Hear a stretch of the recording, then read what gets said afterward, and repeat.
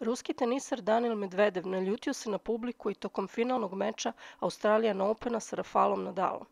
Posle dva dobijena seta Medvedeva 6-2 i 7-6, Nadal je dobio treći set, a publika je tokom tri časa igre do tog trenutka bila znatno naklonjena Špancu.